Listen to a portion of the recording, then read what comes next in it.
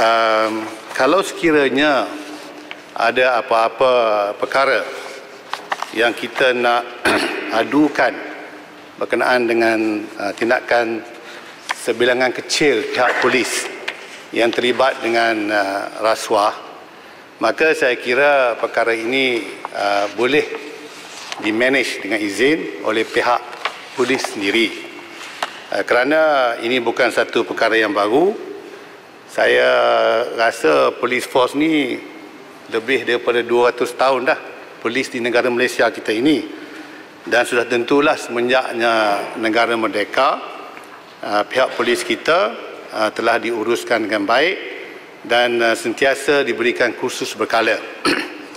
Jadi dalam soal ini saya nak menekankan itu bahawa kalau sekiranya ada aduan yang nak kita buat kepada pihak polis maka sudah tentulah kita kena uh, serahkan balik kepada badan disiplin polis untuk mereka uh, membicara dan mendengarkan aduan yang telah dibuat oleh orang ramai.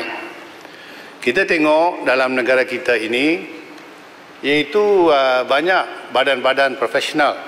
Polis ni saya anggap sebagai badan profesional lah. Kita tengok banyak badan-badan profesional ini diberikan tanggungjawab dan diberikan keyakinan untuk menyelesaikan masalah disiplin uh, ahli-ahli mereka.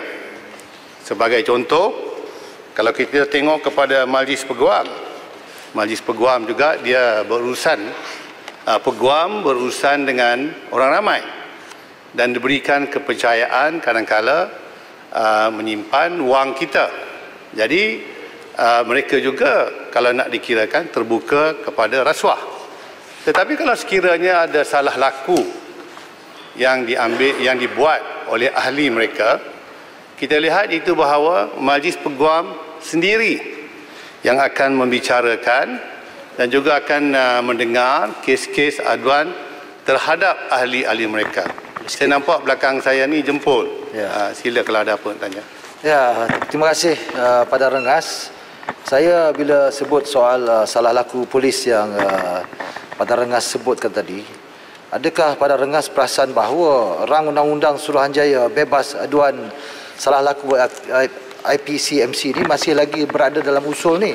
Adakah kita ni perlu kita tolak ataupun kita kita nyah senaraikan dalam usul ni? Apa pandangan sebelah uh, penjelasan telah dibagi oleh pada rengas sebentar tadi menunjukkan bahawa kemampuan polis sendiri boleh untuk menguruskan salah laku uh, anggotanya. Mohon penjelasan. Terima kasih. Terima kasih Yang Muhammad Jempol uh, kerana memperingatkan saya tentang uh, order of the day dalam uh, kita punya order paper kita di dalam Dewan Rakyat. Ya, saya melihat masih lagi disenaraikan uh, di nombor tujuh iaitu Independent Police Complaints of Misconduct Commission, IPCMC. Terima kasih kerana memperingatkan saya. Dan uh, sememangnya saya uh, hujah saya ini ialah ke arah sebenarnya untuk meminta kepada menteri uh, dalam negeri iaitu sahabat karib saya daripada Larut supaya menarik balik uh, di apa ni di uh, jemaah menteri ya tarik balik uh, rang undang-undang IPCMC ini kerana sebenarnya dia tidak merupakan agenda kerajaan yang ada pada ini Ya betul, dia merupakan agenda PH tetapi pada hari ini sudah menjadi kerajaan PN. Dan dalam PN ini, saya menjadi ahli parlimen mewakili parti AMNO, Barisan Nasional. Dan kita daripada dulu lagi pun tidak bersetuju dengan IPCMC ini. Dan dengan kehadirannya AMNO ini dalam PN, maka sudah tentulah kita tidak senang dengan tersenarainya iaitu bahawa IPCMC ini disenaraikan sebagai nombor tujuh di dalam order paper. Jadi uh, memang banyak hujah yang kuat untuk uh, menolak IPCMC ini. Saya ya sila. Terima kasih sahabat saya Padang Rengas. Ya, dulu pun saya ingat saya duduk sana saya ada membahas isu ini iaitu kita menyatakan bahawa memang terdapat unsur-unsur penganiayaan kepada anggota dan pegawai-pegawai polis. Tetapi pihak pemerintah ketika itu PH tidak mendengar sebab mereka mungkin mereka anggap polis sebagai antara enemy mereka. Jadi saya setuju dengan Padang Rengas sebab ini cadangan yang paling baik yang paling tepat. Menteri KDN tarik balik apa ni soal is, pembahasan IPCMC ini dan tidak perlu dibahas lagi kita wujudkan satu select committee untuk menentukan hala tuju IPCMC dengan baik dan tepat. Terima kasih. Uh, yang betul uh, pada uh, yang yang berhormat pada Rengas adakah yang berhormat bersetuju bahawa undang-undang IPCMC ini adalah satu rang undang-undang yang tidak berperlembagaan? Ia melanggar perkara 140 135 132 Saat, uh, perkara 8 pun sama. Itu saja. Kang minta sikit boleh? Pulang rengas.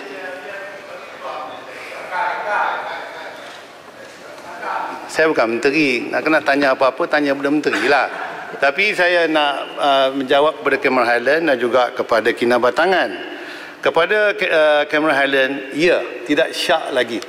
Memang tidak syak lagi bahawa dia akan memerlukan kepada penglibatan untuk kita meminda uh, orang kata apa uh, perlembagaan kita. Kerana jelas di mana yang kamera sebut tadi ini perlu dilihat dulu.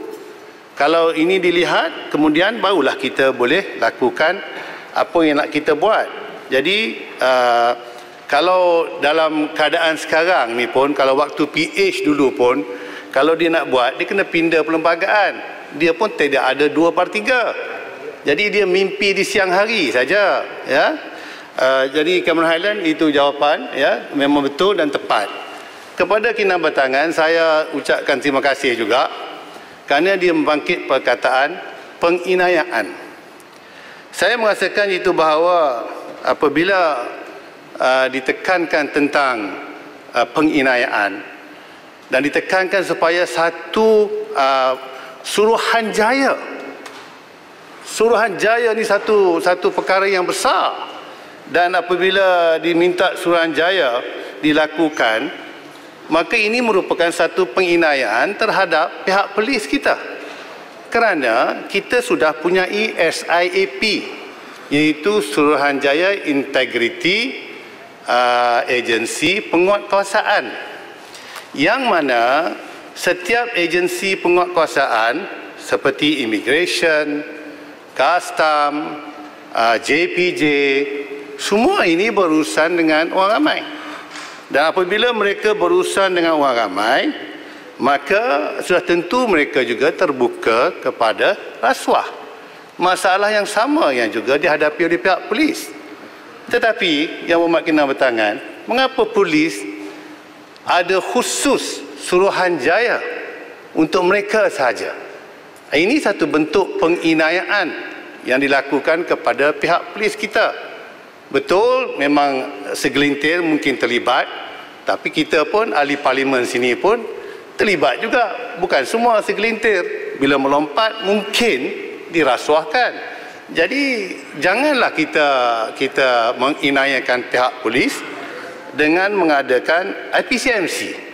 Saya kira waktu saya menjadi menteri menjaga undang-undang dahulu pada ketika itu juga penekanan ke arah untuk mengadakan IPC MC ini telah pun wujud tapi kita tidak mau berlaku tidak adil kepada pihak polis kalau kita nak buat satu suruhanjaya khusus untuk polis maka kita kena ada suruhanjaya juga satu untuk immigration satu untuk custom satu untuk JPJ. Ha, ah, barulah adil. Kalau ini tidak dilakukan, maka dia merupakan satu uh, bentuk penginayaan terhadap kepada pihak polis yang telah pun menjalankan tugas mereka dengan begitu baik sekali.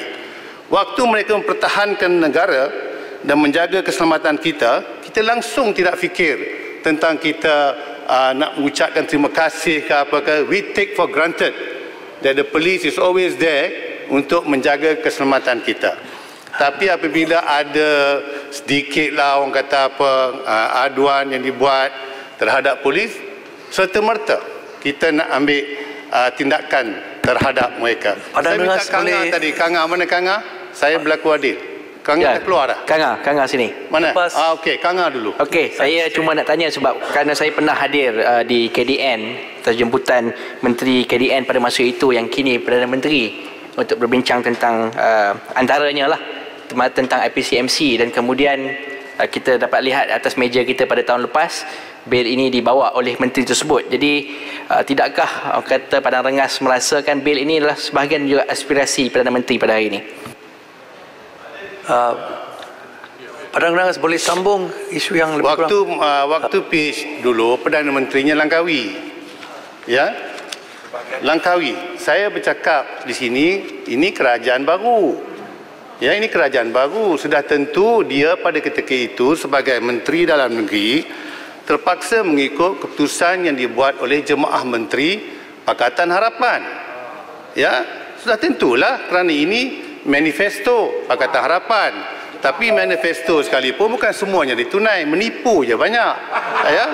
Jadi sebab itu sebab itu saya nak beritahu ini kerajaan yang baru muncul dan yang amat berhormat Paguh menjadi Perdana Menteri. Dan bukan itu sahaja, dia didokong oleh AMNO.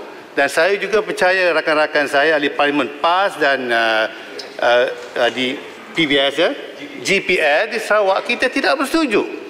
Maka sudah tentulah apabila bangunnya kerajaan baru, jemaah menteri baru, jadi ini bukan satu perkara yang kita nak kaitkan dengan uh, Paguh, tapi Paguh sekarang merupakan ketua kepada kerajaan yang baru.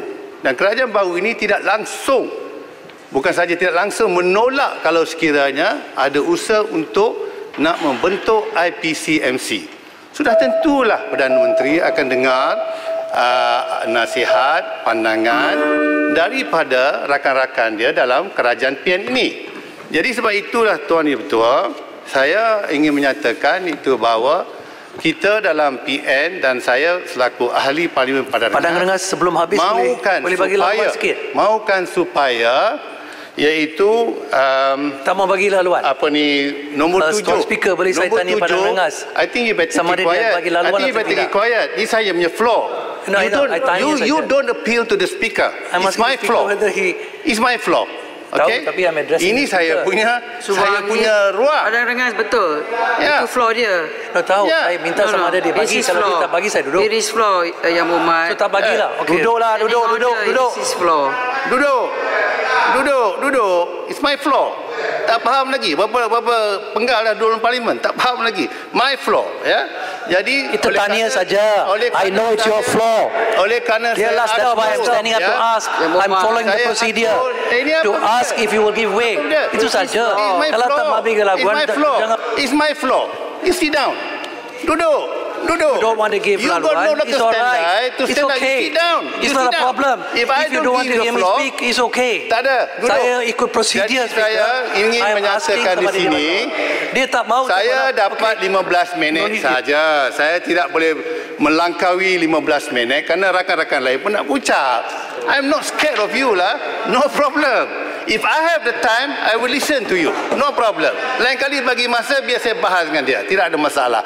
Jadi Tuan Ketua, pada Rengas mohon kita menyokong tapi kita minta supaya digugurkan iaitu RUU IPCMC yang disenaraikan sebagai nombor tujuh digugurkan daripada order paper Dewan Rakyat ini. Terima kasih.